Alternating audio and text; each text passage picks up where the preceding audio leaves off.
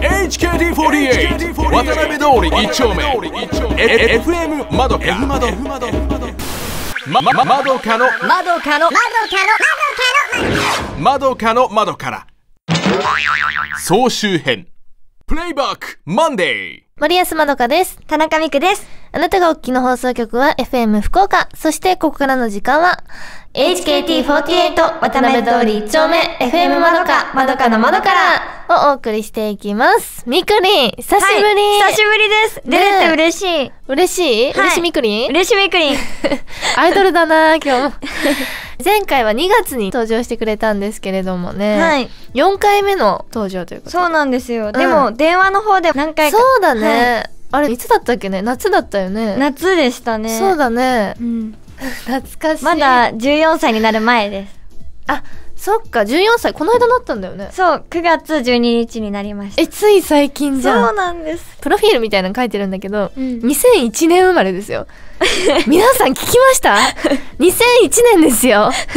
すごくない？今14歳で14歳。中学2年生。はい。いやーかわいい。そっかそっか、うん。熊本出身でおばあちゃん子でダジャレが得意で、で今年の目標っていうのがちょっと変わってましてはい。バンジージャンプを飛ぶっていうそう。これどういうこと？この前の、うん。でんでん夢中の企画でバンジージャンプを飛ばなくちゃいけなくて、うんうん。飛んだんですよ。あの、さしこちゃんが飛べなかった、あ。そう、足だけに紐をつけるやつ。怖く初めてで、ないうん。しかも下が、なんていうの？皮えー、絶対無理なんだけど。そう、めっちゃ怖くて、うん。でも、時間が押してて、うん。スタッフさんピリピリしてたから、でも、ね。やっぱさすがだね。飛ぼうと思って、うん。飛んだけど、うん。意外と本当に楽しくって、え楽しかったの？楽しかった。怖かったけど、えー、ド M だな。すごいね。そう、だから、えー。今度、ね。もしバンジージャンプ飛ぶなら、うんマカオの、マカオ？そう、ここ日本じゃない。グローバルに戦いたい。そうそうそう。へえ飛びたい。日本じゃダメなんだ。日本じゃダメだ。へえ全国行って。まあどうせならね。どうせなら、全国って日本だから。世界ね。世界。行って。そうそうそうそう。そう。ね。今週最初のメッセージを早速ですが紹介したいと思います。渡辺さんネーム北海道はでっかいどダンスさんからいただきました。ありがとうございます。ありがとうございます。お二人が年齢の割にしっかりしているのは熊本生まれで長崎育ちの恵比寿義和さんを反面教師にしているからという噂は本当なんですか？気になって夜も眠れませんというメッセージが来ました。いやいやね。夜も眠れない。夜も眠れないってね。そんなそんな尊敬しております恵比寿さん、はい。ね続いてのメッセージです。渡辺さんネームマシュマロさんからいただきました。女性の方ですね、えーみくりんのググタスを見ていて思うのが松井樹里奈さんをはじめ48グループのいろんな先輩たちと仲がいいんだなということです。私は先輩と接するのが苦手で可愛がられるタイプではないのでどうやったらみくりんみたいに先輩と仲良くできるのか知りたいです。またみくりんの今現在の先輩メンバーの推しは誰ですか？ズバリだよこれ。へえそうだね。確かにうん。松井樹里奈さんね。お姉ちゃんって言ってるよね。そう、あの、755の今やってるのあるじゃないですか。うん。うんあれでも、姉妹トークみたいなあので、トーク作ってるんだ。そう、二人でトーク作ってやってるんですよ。うん。仲良しだもんね、はい。この間も遊びに行ってて。ご飯食べ行きました。はい。そうそうそうすごく優しくしてくれるので、うん嬉しいですね。かわいい 嬉しいんだへ嬉しいですね。えあと、何でも多分積極的にうん話しに行くタイプで、あまり人見知りしないタイプなんで。あ人見知りしないんだはい。へえ偉いね入ってきた頃は結構人見知りしてたんですけど、うん HKT の先輩が結構優しくって、おそう、なのでやっぱ先輩ってみんな優しいんだなと思って怖くなくなりました、あ喋るのが。こういうのですよ。こういうのが大事なんで。これが可愛がられる秘訣。っていう感じですかね。いやでもみくりんはさ、DD じゃん。そうなんですよね。しかもミクのファンの人も結構 DD な人多くって、あ、ディスった。やっぱ。ファンの人って推しに似るなと思いましたね。うまいね。なるほどね。はい。みんな大好きということでいいですか？はい、大好きです。はい。F 窓総集編 HKT48 渡辺通り1丁目 FM まどかまどかの窓から田中美久がお送りしています。あ、森ママ、こちらにお願いします。さて、月曜日のコーナーはこちら。森ママの聞いて差し上げてもよろしいですわよ。芸能生活37年の森ママが番組リスナーである渡辺さんのあなたの相談を聞いて差し上げるコーナーです。森ママよ久しぶりみくり久しぶりです、森ママさん。ちょっと久しぶりじゃない？元気してた？はい。た。元気してました。よかったね。今日もよろしくお願いします。はいよろしくお願いします。いっぱいメッセージ来てるんでしょ？そうなんですよ、ねちょっとどんどん解決していきましょうよ。はい。じゃあまず1通目から。はい。渡辺さんネーム団長の後輩さんからいただきました。はい。森ママもう一度助けてください。数ヶ月前に先輩が寝ちゃうんです。で森ママさんに対策と掛け声をいただきました。あ頑張ってくださいの声を聞かせて起こしていましたが最近慣れてしまったのか一瞬ハッと起きるのですがまたすぐ寝ちゃうんです。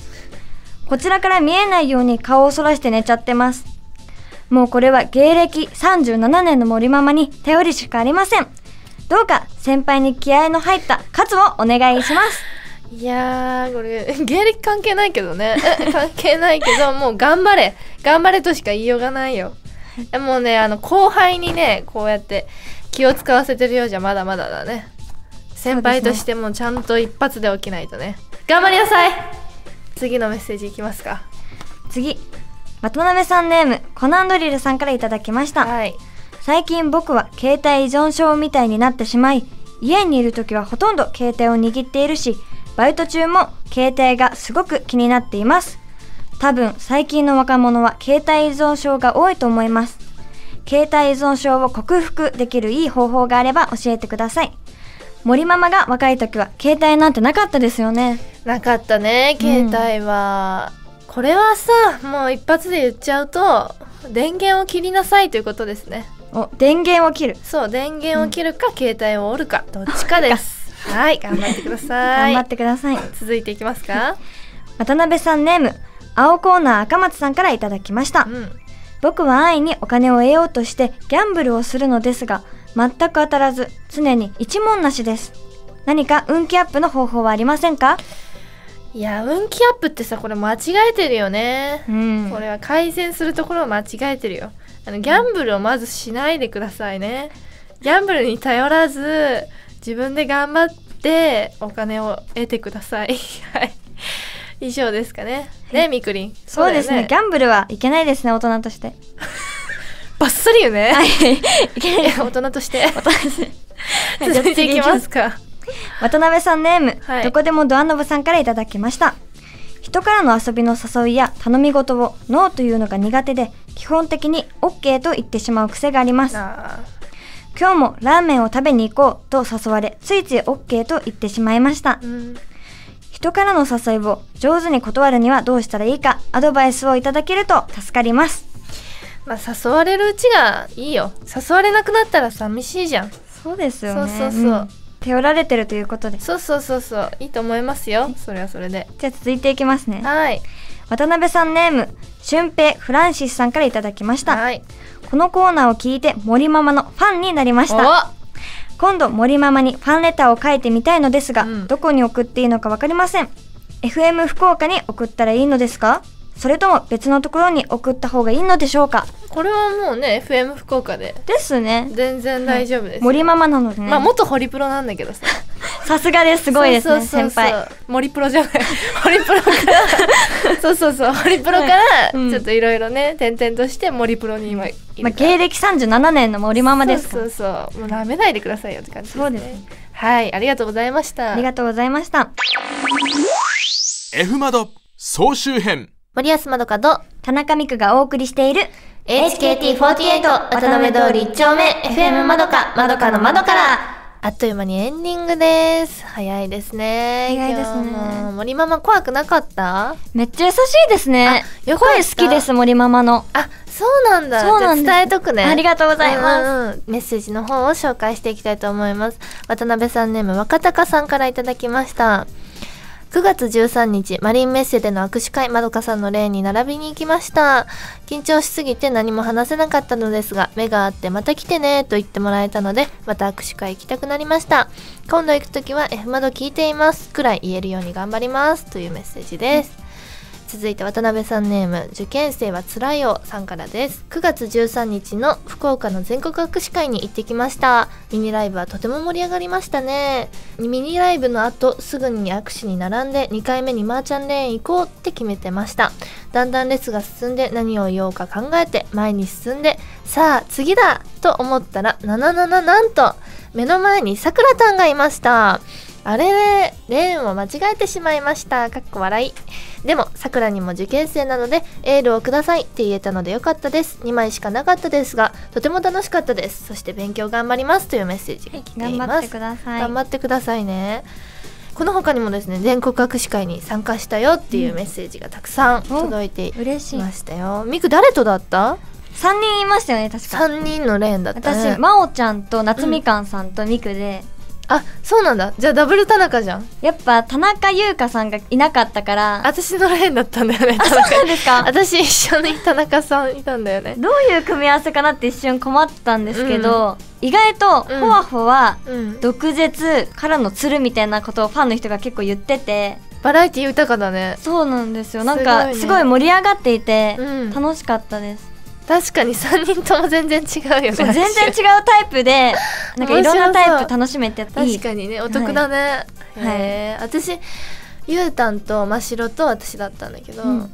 本当にふわふわしてた結構終始。うん。で知ってそう。ん。てしてそう。たしてただけど楽しかったすごく。う、うん。ね。え、うん。レーン間違えるって私すごい不思議なんですよね。これ本当にディスってるわけじゃなくて。あの私の方もうん。あるらしいですよ。なんか夏みかんさんが言ってたんですけど、田中夏美と田中美久って似てるじゃないですかちょっと。うん。でレンも結構隣になること多いんですよね、うんうんうん。で結構夏みかんさんの方にミクのファンの方が間違ってきちゃう時あるらしいです。あーそうなのかな、すごい不思議なんだよね。えどうして間違えるんだろう？と思思いました。もうなんか緊張しすぎちゃってあ早く行かなくちゃな上がっちゃってね。あなるほど。そういうことなのかな？じゃないですか多分。でしょうね。受験生なので結構来てるタイプとはまた違う。あ確かに確かタイにプでみたいな感じなんです。なるほどね。慣れてる人だったらまたね違うけど。ほいほいっていけちゃうんですけど。そうだよ慣ね確かに。そういうことなんですかね、はい受験勉強引き続き頑張ってください。頑張ってください。F 窓総集編プレイバック Tuesday 2代目 FM 福岡ダジェルクイーンの森安まどかです。熊本の観光大使になりたい田中美久ですあなたがお聞きの放送局は FM 福岡。そしてここからの時間は HKT48 渡辺通り1丁目 FM まどか、まどかの窓からをお送りしていきます。はい、みくりん。熊本の観光大使。なりたいんですよね夢ですか？はいあ AKB48 でも、うんゆきりんさんとか鹿児島の観光大使とかになってて、私もいつかーいつかね。ね、なりたいなって、そうあと HKT で今熊本の出身者がミクしかいないということで。あ、そうなんだ。AKB グループだったら、もう、えっと、8が入ってきて今チーム2人8以外だったら、もういないんですよね熊本。えー、そうなんだ。私もだよ。長崎もそんな感じ。えそうなんですか？そうそう。あでも HKT いないですよね長崎。HKT いないね。一人ずつで。頑張ろう、本当に。頑張りましょう。頑張ろう。私一応観光大使だね。ね見ましたよすごいですよね。私もまどちゃん見習いますいねやーありがとうございます。早速メッセージの方を紹介していきたいと思います、渡辺さんネーム離れ小島から来た男さんからいただきました。先日の福岡の個別握手会でみくりんと握手をしました、その数日後街でタピオカを持ちながら歩く美少女2人とすれ違いました。そう。みくりんとエレタンです。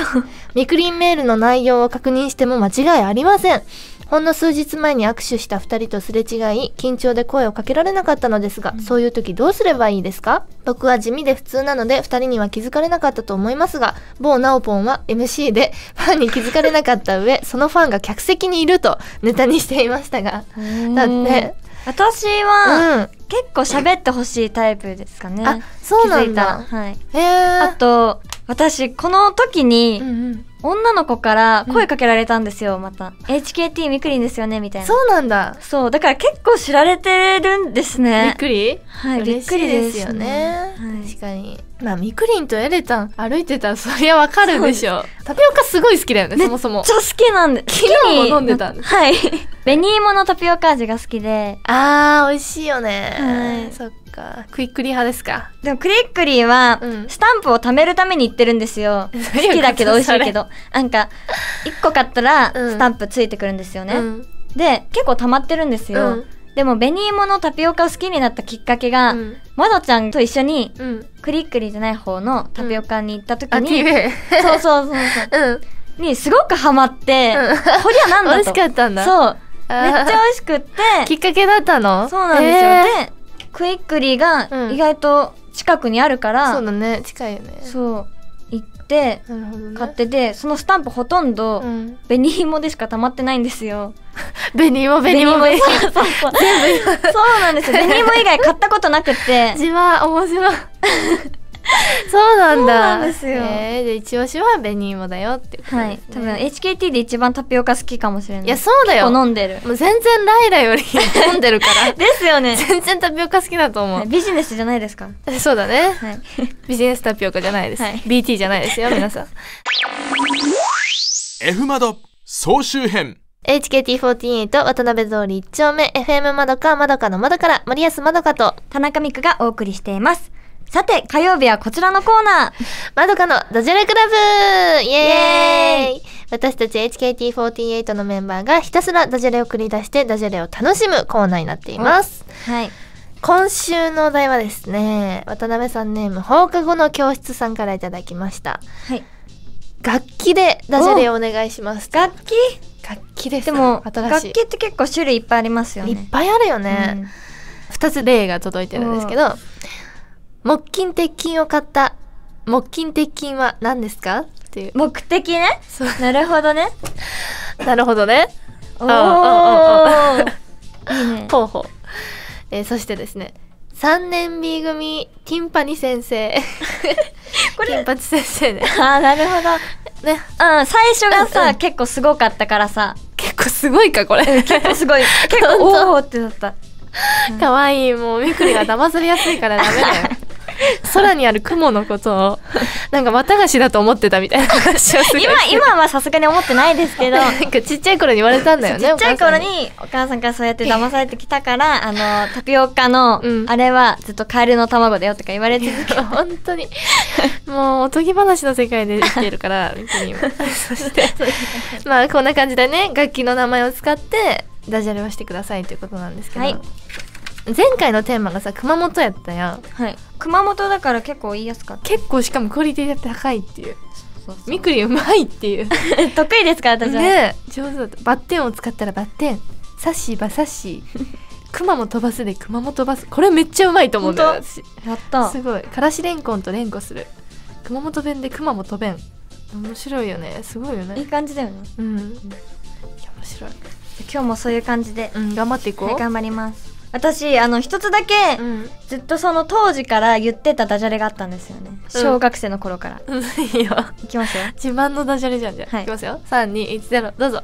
リコーダーはオリコーダーあめっちゃドヤ顔だね、はい。すごいね。お利口だ。オリコーダーすごいよ。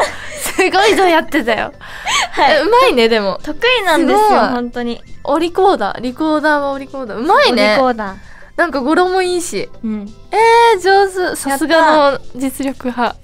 リコーダー得意だったし。あリコーダー得意なんだ。はい。だってみっくりんすごい楽器やってたんでしょ？え結構やってましたね。ね。今は全然やってないんですけど。あれでしょ？ギターとかギターピアノドラムで横ありでみんな楽器やった時にうんうん。練習してできたフルート、すごいよ。結構いろんなのやってますね。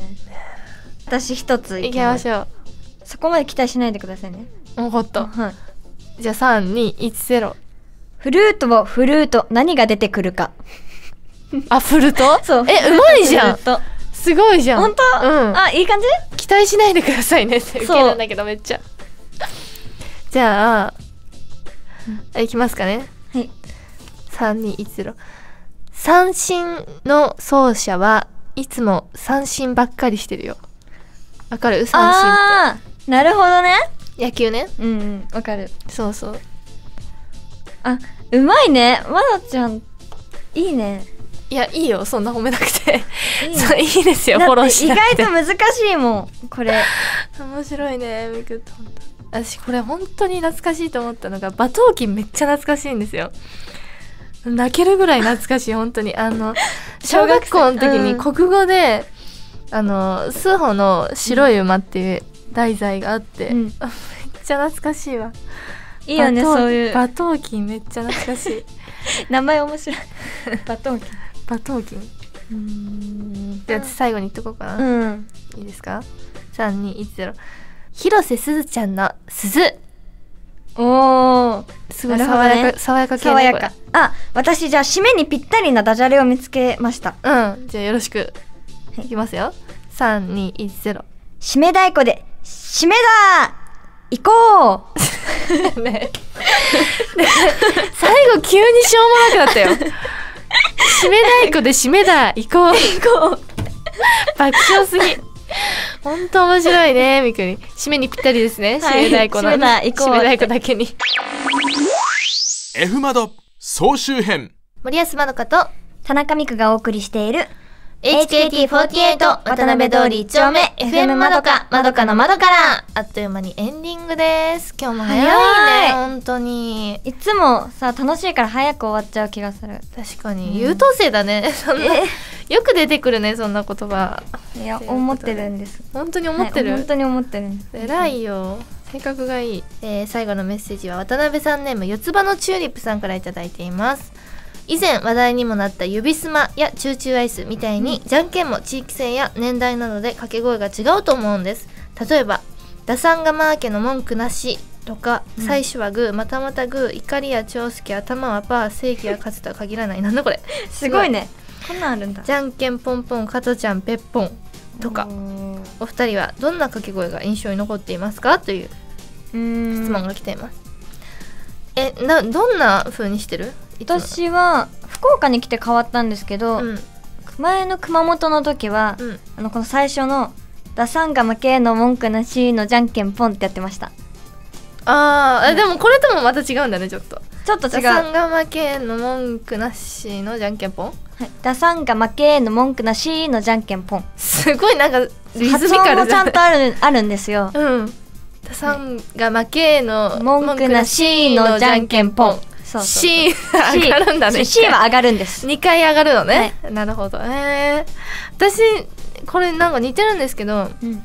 ダサンママ家の一丁さんあらちちっちのちだった。え？知ってる？あでもチッチチのチみたいなのは聞いたことはあるけどそう。最初ダサンママ家の一丁さんあらちちっちのち。知らない？知らない。えええ？言わないの？一のち？最初なんて言ってるんですか？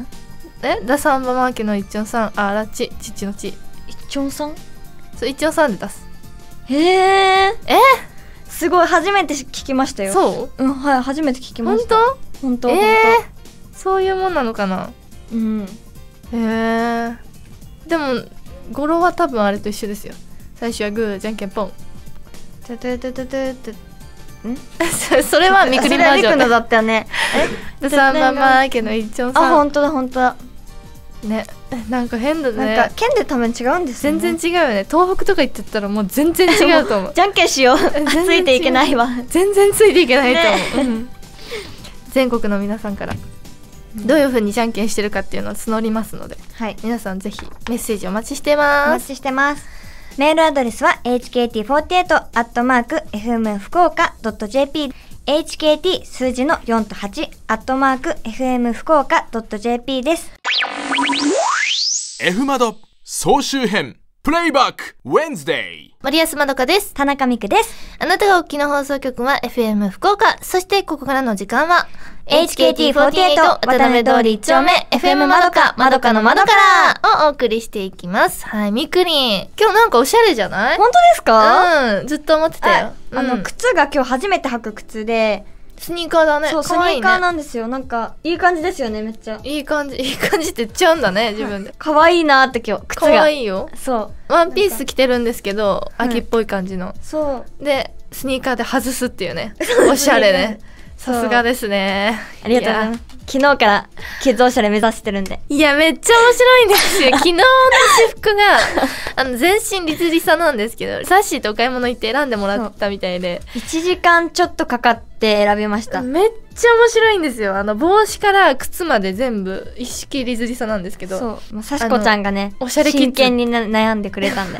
めっちゃ面白かった本当に本オーディションに来た人みたいな感 なんかパーティーに今から行きますよみじたいな感じ。すっごいブリブリなんですよでもそれで渋谷とか、うんいろんなところ歩いてて、私馴染んでるなって思いました。馴染んでるね渋谷の人たちと。渋谷の人たちと人たちと。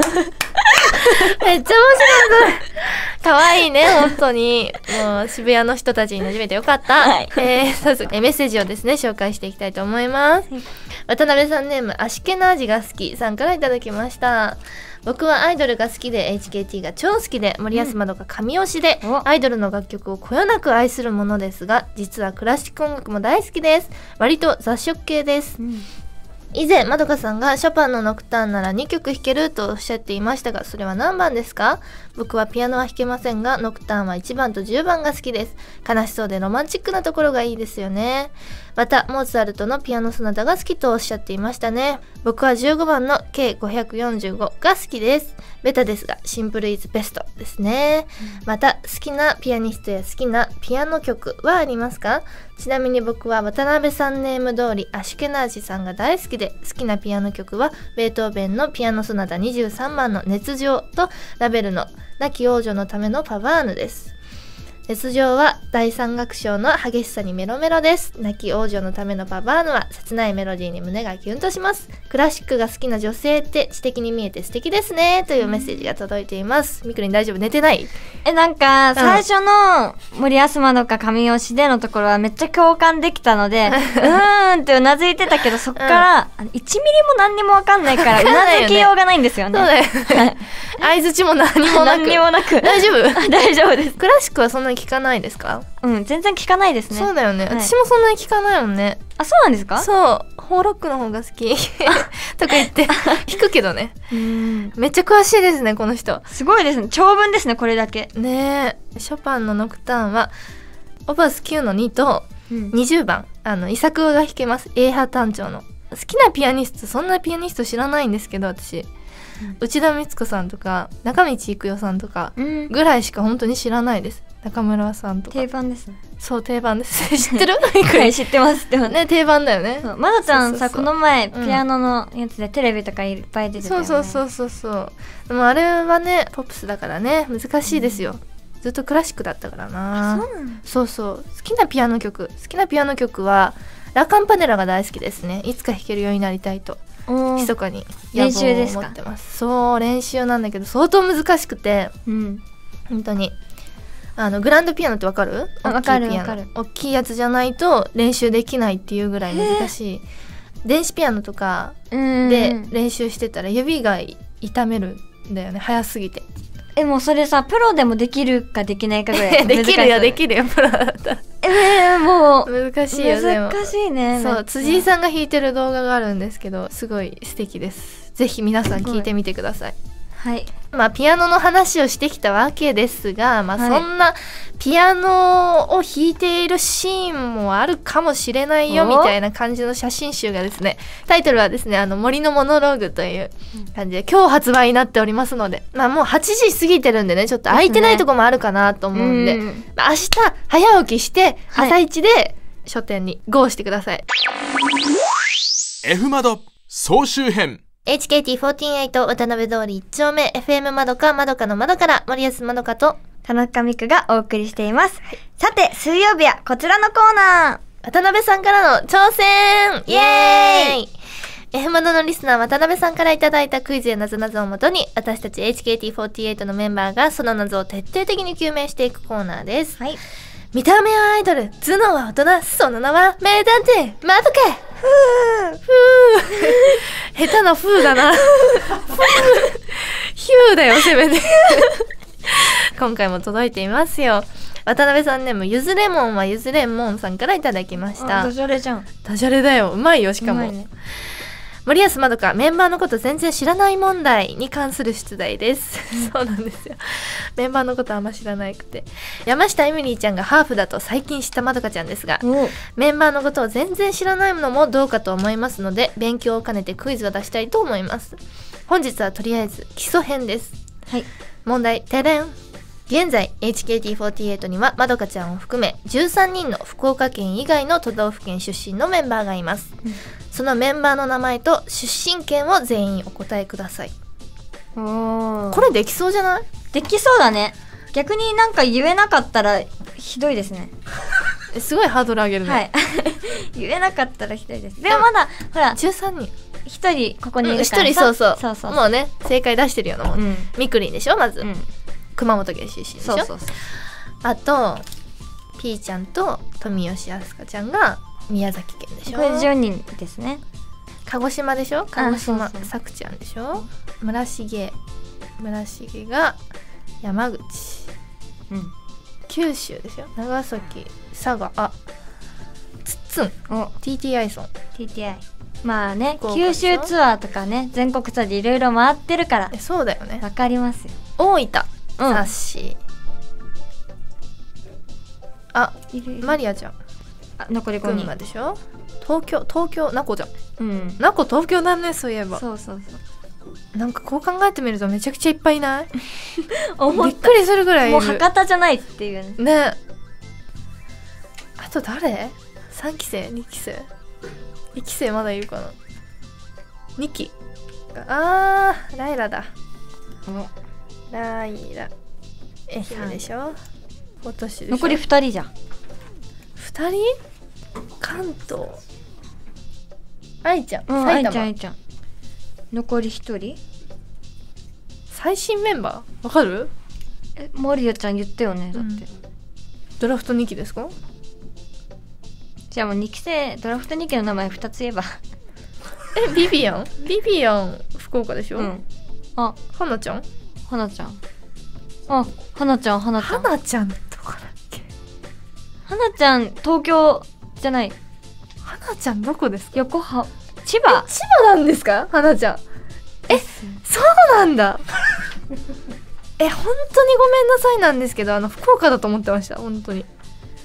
えニクもちょっとそんな感じはしてた。でも違うだろうなと思って。ー、そうすごいあのポジティブに考えると馴染みすぎてるってことだよね。だってはなちゃんは結構早くからうん、福岡に来てくれたかな。あそうなんだ。マリアちゃんは結構時間かかっちゃったけど。えそうマリアはすごいね群馬感あるんですよ、ね。な来ましたみたいな感じあるんですうん。えはなちゃんだったんだ。ちょっともうちょっとねはなちゃんと交流を深めないとだな、ね。へえそっかということでねまあ問題とは関係ないですがアーニャとエミリーはハーフですが、村川ビビアンちゃんはハーフじゃないですよ。ハーフじゃない知ってるよ。知ってるよ。知ってるよそれぐらい。えー答えは伊藤ライラちゃんが愛媛県。今村マリアちゃんが群馬県。太田愛花ちゃんが埼玉県。駒田ひろ香ちゃんが宮崎県指原莉乃ちゃんが 大分県田中美久ちゃんが熊本県、はい。筒井莉子ちゃんが佐賀県で富吉飛鳥ちゃんが宮崎県松岡花ちゃんが千葉県宮脇さくらちゃんが鹿児島県で村重杏奈ちゃんが山口県森安まどかちゃんが長崎県で矢吹奈子ちゃんが東京ということですね。はい、すごいできた。できなかったけど。いろんな県から博多に来てくれるから嬉しいですね。ねえ本当に。嬉しいよ。だってこれだけのメンバーがね本当に博多に移住してきたってすごくない、F 窓総集編。森安まどかと田中美久がお送りしている。HKT48 渡辺通り1丁目 FM まどかまどかの窓からあっという間にエンディングです。相変わらずの速さですね。はい。もう一通ですね。メッセージがありますので読んでいきたいと思います。渡辺さんネームフォールザトマトさんからいただきました、先日僕は近くで開催されたトマトフェスティバルに行ってきました。お。このイベントは渡辺さんネームにトマトがついている僕にとっては見逃せないイベントでした、うんところでみくりんは熊本出身で、熊本といえばトマトの生産量が日本一位。おということで質問です。はい。森保さんやみくりんのトマトのおすすめの食べ方を教えてくださいというなるほど。質問が来てますよ。い、大きいトマトを切って渡されるじゃないですか、私切ったトマトを食べるのってあんまり好きじゃないんですよ。あそうなんだ。はい食べやすいんですけど、うん。私美味しいじゃん。トマト熊本の時からうん。そのまま取った野菜をうん。塩につけてそのままかぶりつくあいいのがねそれまでにめっちゃ冷やしとくんですよね。氷水の中に入れて。ね。冷やしトマト。とそれにプラスきゅうりとかいいね。夏だな。そう夏。満喫してました、なんかもうジブリの世界じゃん。ジブリ感ないなんか 私ジブリのさ作品見たらさ、いつもなんか生野菜食べたくなるんだよ。わかります？わかるよわかるよ。あとあのドロップス。ホタルの中見たらいつも食べたくなる。一時期ハマってた。本当に。うんなんですけど、えー私トマト本当大好きなんですよ。うん。ね本当に愛してるもう大好きなんですけど。ダイエットにいいですよね。ダイエットいいよね、うん。美容にもいいし最高じゃない、うん。で何でも好きなんですけどこの間さあの中華料理食べに行ったやん、あ行った。のサッシーとかメンバー何人かと、だねあそこにもあったんですけどトマトと卵の、うん。あのあのなんか炒める感じそうそうのそう。なんて言ったらいいんですか？ね卵が半熟でそう。それにトマトがスワって。最高なんですよ。トマトってさそのまま食べても美味しいし合わせるのにもめっちゃ美味しくない？最高だよね。ね。いや本当にもう万能だと思います。女の子には大人気だね。そう強いよ本当に。トマト付き合いたい本当に。付き合いたいはやばい、はい。でもね私知らなかった。熊本が生産量1位ってあそう？熊本ね結構詳しい方なんですけど、うん。生産量1位とは知らなかった。知らなかったんかい。うん知らなかった。あそう？ってめっちゃあなんかめっちゃ知ってるみたいな感じだった。トマトってなんかイメージがないそういううん熊本に、わかるわかる。熊本からしれんこん馬刺し、うん。でみかん温泉みたいなそうそうそうそう。でもでも嬉しいですね。さすがですね。うん。熊本、ちょっと観光大使狙ってるんですけどね、はい。頑張ってください。頑張ります。F マド総集編プレイバック Thursday. マリアスまどかです。田中美久です。あなたがお聞きの放送局は FM 福岡。そしてここからの時間は HKT48 渡辺通り1丁目。FM まどか。まどかの窓から。をお送りしていきます。ねえみくりん今日で最終日だよ、はい。てかもう10月ですね。そうだよ。10月入っちゃった。早くない？はい。なんか最近なんか年取るのも早くなってきたし なんか時が過ぎるのも早くなってきて寂しい。14歳だよねみくり。はい。中学生が言うことじゃないよそれ。最終日なんで楽しんでいきましょう。楽しみます。渡辺さんネームヒッシーさんからのメッセージ。ゆうなちゃんの変色ぶりについてまどかの755でコメントすると返信が来てびっくりゆうなちゃんもすごいけどみくりんもなかなかだというものでした。みくりん好き嫌い多いんですかという質問と。はい。渡辺さんネームゆずパパさんからも来ています。先日週替わりゲストが山内優奈ちゃんの F 窓で優奈ちゃんがかなりの変色ぶりを披露したその日。まどかちゃんの755ではみくちゃんの変色もなかなかすごいという投稿がありました、実際みくちゃんはどれぐらいの変色なんでしょうか？という。みくりんはですねあの説明いたしますと変色っていうよりあの混ぜたがりなんですよもう何でも混ぜますね。ケータリングを見てたらわかるんですけど、カオスなんですよね 食べ物が。いやそれは、うん。あの私お皿を2つ持ちたくないんですよまずそもそも。あそうなんだ。それがあったのね、そもそも。そう。でちっちゃいお皿を何個も持つより、うん。大きいお皿1つにあ入れた方がもう楽だからなるほど。なんか大きいお皿でも分けてあるじゃないですか。ここにはこれを入れるみたいなああはいちゃんとはない区切りみたいなのついてるじゃないですか、そこにまずサラダを入れるんですよ、あのケータリングのサラダって本当に美味しいから、うん、入れすぎちゃってまず枠から外れちゃうんですよね。はみ出してるはみんですよ出しちゃうんでですよ本当に。でちょこっとずついろんなものを食べたいから、あはいはいはいはい。ハンバーグとかも大きすぎるので、うん。ハンバーグまず切って、うん。別のところに入れます、うん入れますね。でいろんなものを足して、うん。ちょっとご飯入れます、うんで持っていく時に、うん。ちっちゃくしちゃったから転がっちゃうんですよね。あそういうことなの？そうそうそうそう。であれ？みたいな。もう混ざってるよ混ざっちゃったよみたいな、そういう感じなんだね。うんでもうん。ご飯とかは混ぜたがりですね。もうなんかすごいです本当に。大好きだよね卵かけご飯とか。それにもプラスで入れるよね。なんか納豆。そう納豆とか、うん。美味しいのよ。美味しいのわかるんだけどさ、うん。お味噌汁もさ、かね猫まんましちゃうんだよね。そうなのよねなんかご飯が嫌いなんですよ私実は。白あ米好きじゃない？ね苦手なんですよね。あそうなんだ、はい。だからそんな白米だけじゃうん。食べれないから、そのだから混ぜちゃうの？そうだから混ぜちゃうんですよね。そうなんだ、はい。もう本当にすごいですよ。もう常にもうロコモコみたいな。常に混ざって。常に混ざっちゃうんですよ。本当常にロコモコだから。混ぜたくてやってるわけでもないし変色でもないんですよなるほど、まあただ単に白米だけっていうのが受け付けない。そうなんですよ。はあ。でもなんか焼肉とかに行ったらうん。ご飯ないとダメですね、焼肉は絶対ご飯があった方が美味しい、はい美味しいですね。ご飯の味が引き立ちますね。あそうなんだ。へ はい。ええじゃあ丼とかは好きなの？普通に。も好きですね。はい普通に。上に乗ってるもんね。上に乗ってご飯が引き立ってるからね。ご飯にも味ついてるから。ご飯だけでもうそのまま単体で食べましょうみたいな無理ですね。はいへえ変なの。こだわりが強いんだろうね。あ多分はい。結構こだわりあります。すごい。あとなんかあれなんです。コンビニのおにぎりの方がうん。絶対に美味しいみたいなことをすごい語っててこの間。いやあの海苔がいいとか 言ってて多分あれでしょ。そう本当に白米だけがダメだからってことだよね。私実は HKT に入る前コンビニ自体行かなかったんですよ、うんうんでも結構 HKT に入ると行く機会増えるじゃないですか。多くなるよね。で私気づいたんですよね、うん。なんかコンビニって最高だなみたいな。